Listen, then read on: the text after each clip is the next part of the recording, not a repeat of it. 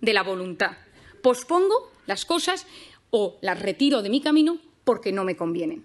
Cuando un bebé nace, la corteza prefrontal es profundamente inmadura y el desarrollo del cerebro funciona de atrás para adelante y a medida que uno se va haciendo mayor, va madurando hasta que la corteza prefrontal madura en torno a los 15, 18, 21, 25 y hay gente que no madura casi nunca. En las mujeres madura antes, en los hombres madura después.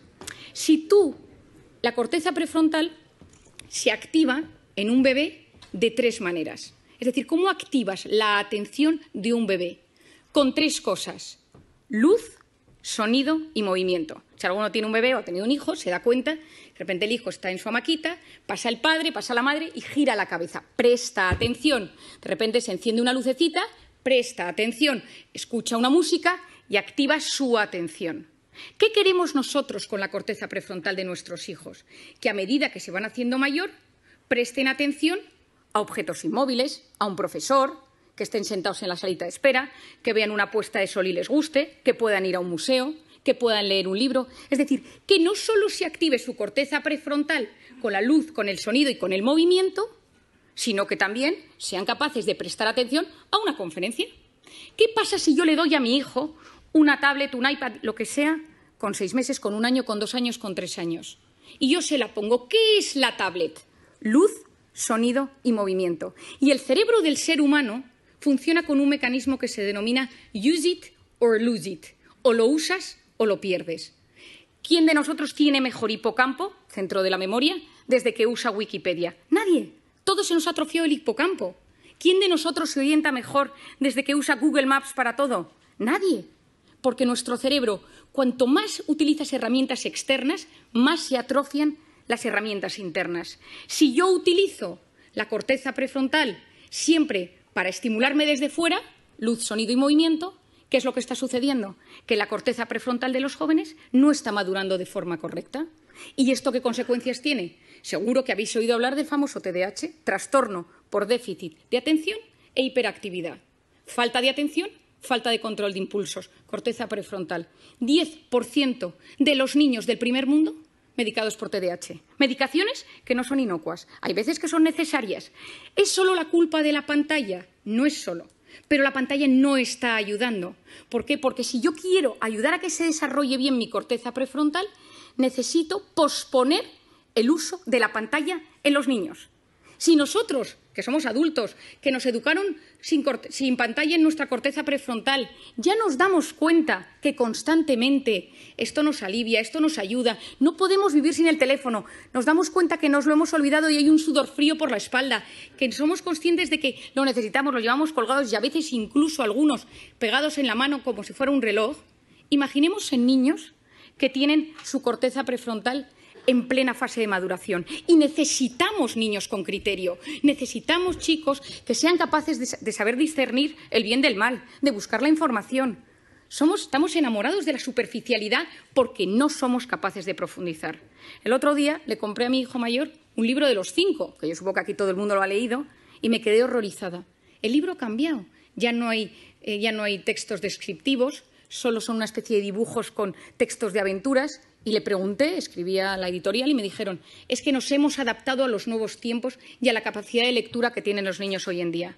Me quedé preocupadísima. Es decir, no somos ni siquiera capaces de leer. Antes leíamos una novela, la leíamos dos horas y al día siguiente la retomábamos y nos acordábamos de los personajes. Ahora, durante el tiempo que estamos leyendo, nuestra cabeza está conectada a la pantalla y esto es dopamina y corteza prefrontal. Necesitamos potenciar la corteza prefrontal del ser humano del siglo XXI.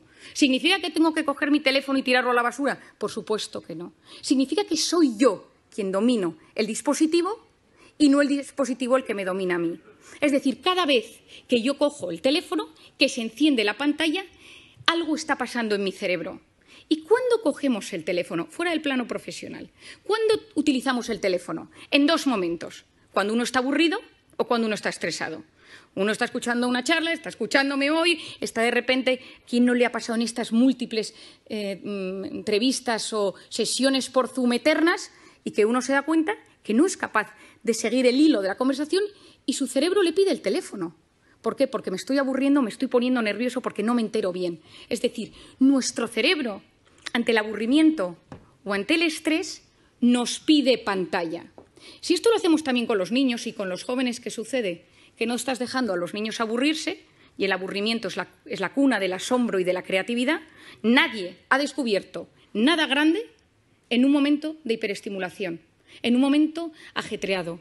Unos vieron caer una manzana de un árbol, otros paseaban por los jardines de Atenas. Es decir, si tú quieres crear algo, si tú quieres que te pasen cosas buenas, necesitas ser capaz de frenar el círculo de la hiperestimulación. Y te tienes que empezar a aburrir, porque cuando tú te aburres o dejas que tu hijo se aburra, pasan cosas en el cerebro. Si tú no sabes gestionar el estrés y cada vez que te enfadas con tu marido, con tu mujer, y fijémonos, coges el teléfono, tu hijo te pone de los nervios, coges el teléfono, has tenido un problema con tu jefe, coges el teléfono, porque te alivia, porque fue diseñado para aliviar. Y conocemos los mecanismos que subyacen al tema, pero entonces ya no sé gestionar la ansiedad. Y ojo, quien no sabe gestionar sus emociones en el siglo XXI lo pasa muy mal. Y si me vuelvo al campo de los niños y si me vuelvo al campo de los jóvenes, el que no sabe gestionar estos problemas acaba con problemas de tolerancia a la frustración. Yo siempre digo que darle a un niño un, teléfono es como ponerle un minibar en su, en su cuarto. Es decirle, oye, que cada vez que te encuentres mal puedes tomarte un chupito. Porque, porque el cerebro se siente aliviado ante esa carga de estrés. Tenemos que conocer cómo funciona la pantalla, tenemos que conocer cómo funciona el cerebro para entender que es algo bueno, que las pantallas traen cosas muy positivas, pero que tengo que ser yo quien domine el dispositivo y él no a mí. Hay un documental que se llama The Social Dilemma, hecho por Netflix, que os recomiendo. Está Tristan Harris detrás de ello, que es lo que denominan en, Estados Unidos, le llaman The Closest Thing Silicon Valley Has to Conscience, lo más cercano que tiene Silicon Valley a la conciencia, porque él ha abierto la posibilidad de que haya comités de ética en las grandes empresas tecnológicas para hablar de estos asuntos, porque es la primera vez en la historia que los hijos son menos inteligentes que sus padres. Y me refiero a inteligencia, capacidad de buscar, capacidad de discernir, eh, encontrar dentro de toda la información y saber encontrar lo importante. Estamos en la era del exceso de, información y de la falta de formación. Y encima estamos generando una sociedad que no sabe buscar lo correcto, porque ante el estímulo tu cerebro no te permite frenar, no te permite el silencio. Por lo tanto, tenemos mucho Estamos hiperestimulados, nos llegan demasiadas cosas y hay un fracaso en la gestión de la abundancia de lo que nos llega. No sabemos gestionarlo. ¿Qué creo que es lo importante? ¿Qué ideas os daría? La primera de todas, que yo la he recomendado en todas partes, en mis conferencias, en mis libros, a todo el mundo, quitar las notificaciones de la pantalla. Porque las pantallas, cada vez que nos llega algo, que puede ser un grupo del colegio de mi hijo, puede ser un grupo de amigos del, tenis de los sábados, es decir, son cosas que hacen pequeñas activaciones de la corteza prefrontal que a la larga me la debilitan. Y que recordemos esto, necesitamos una sociedad con una buena corteza prefrontal. Potenciar esa corteza prefrontal posponiendo la recompensa. Me apetece meterme ahora a ver si me ha escrito alguien por WhatsApp. No lo hago. Me apetece pedirme esta comida ahora. No lo hago.